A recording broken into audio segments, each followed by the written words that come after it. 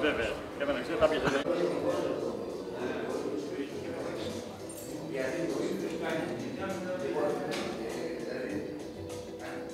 Ήθελα να κάνω αυτή την έκθεση για να τιμήσω πρωτίστως τον Ανεμογιάννη, έναν ήρωα ο οποίος έδωσε τη ζωή του για την πόλη. Ε, μέχρι στιγμής ο αείμνηστος φίλος μου, η οικονόμου ο Κώστας, έγραψε ένα βιβλίο που αναφέρεται στη θυσία αυτού του παιδιού. Έκτοτε οι ναυπάκτοι δεν τον τίμησαν όσο έπρεπε.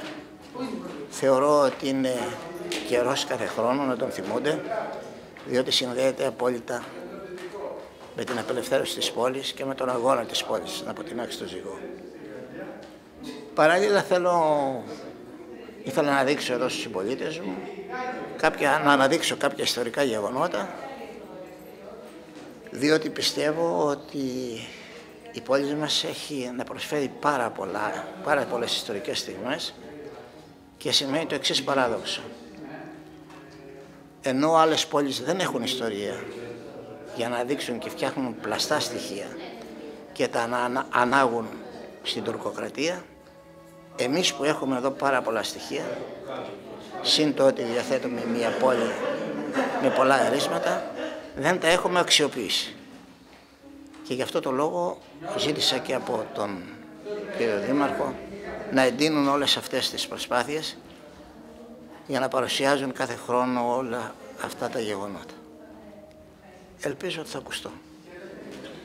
Ε, κύριε Μακρυγιάννη, βρισκόμαστε τώρα στο αρχοντικό των Μποτσαρέων. Ε, είμαστε μπροστά σε ε, μια συλλογή από πίνακες, από ζωγραφικές. Αυτές είναι, είναι δικές σας, είναι προσωπική σας συλλογή; Είναι ορισμένα έργα δικά μου μέσα. Όπως η... κάποια γραμμικά της Ναυπάκτου, κάποιες συλλογογραφίες που είναι από τον Ανεβογιάννη και για πρώτη φορά που παρουσιάζει τη θυσία του Ανεμογιάννη σε ένα πίνακα, καθώς και της ναυμαχίας που έγινε πριν από την απελευθέρωση στην πόλη. Πέραν αυτού υπάρχουν κάποιων πυρηγητών που είναι από τη συλλογή τη δικιά μου ξένων, οι οποίοι πέρασαν από την πόλη και θέλησαν να αποτυπώσουν πάνω στο χαρτί αυτά τα οποία είδαν. Ε, υπάρχουν πολλά ακόμη. Δεν είναι ο χώρος κατάλληλος για να μπορέσουμε, όχι ο χώρος κατάλληλος τόσο μεγάλος για να εκθέσουμε όλα αυτά τα πράγματα.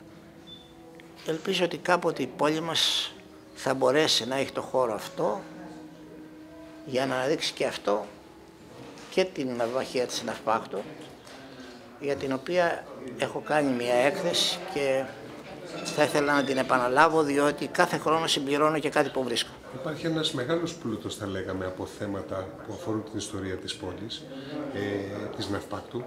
Ε, ε, θέματα τα οποία όμως θα λέγαμε βρίσκονται σε προσωπικές συλλογές και ο κόσμος δεν έχει μέχρι τώρα την ευκαιρία να τα γνωρίσει, να τα δει από κοντά. Θεωρείτε ότι είναι μια καλή στιγμή έτσι ώστε όσοι άνθρωποι διαθέτουν τέτοιο πλούτο σε συνεννόηση με το Δήμο Ναυπακτίας, με την ε, Φορεία Βυζαντινών Αρχαιοτήτων κτλ. να δημιουργηθεί ένας κατάλληλος χώρος ώστε να γίνονται εκθέσεις, να γίνονται παρουσιάσεις.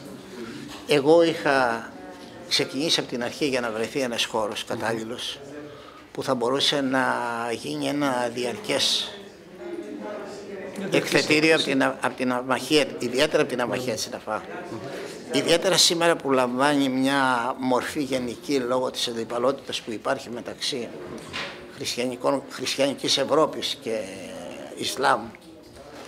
Αυτό έχει ιδιαίτερη σημασία και έχω την εντύπωση και την βεβαιότητα από παλιούς συναδέλφους που είχα στο Ευρωπαϊκό Κοινοβούλιο ότι αν γινόταν οποιαδήποτε πρόταση να βρεθούν τα χρήματα για να γίνει ένας χώρος για να αναδειχθεί η πόλη σε αυτό το τομέα, στην ανάδειξη των μοχιά στα φάκτο, θα έβριξε πάρα πολλούς συμμάχους.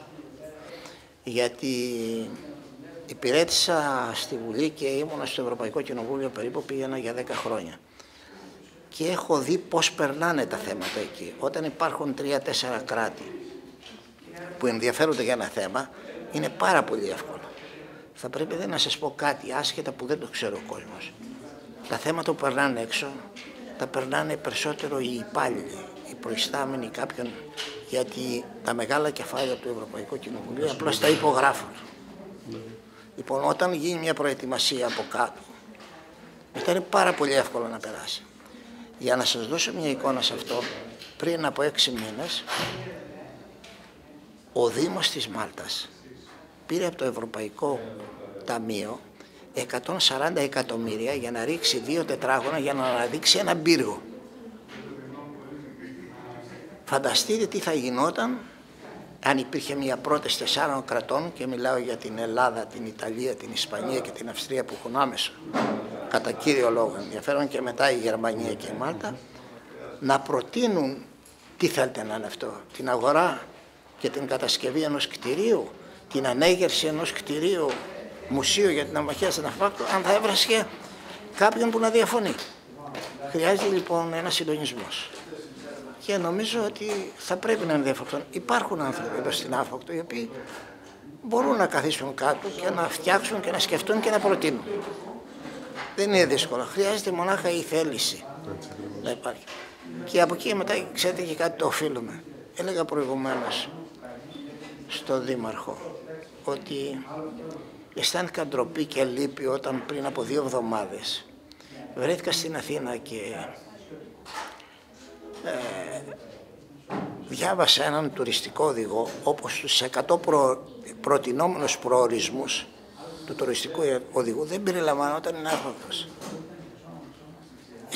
Μια τέτοια πόλης με τέτοιο ιστορικό χαρακτήρα και τέτοια κλασική ομορφιά που έχει, φυσική ομορφιά που βρίσκεται στον τόπο αυτό, να βρίσκεται έτσι στο περιθώριο. Βέβαια συντρέχουν πάρα πολλοί λόγοι, αλλά κάποια στιγμή θα πρέπει να αντιμετωπιστούν. Θα πρέπει να αφοπλιστούν ένα φάκτη.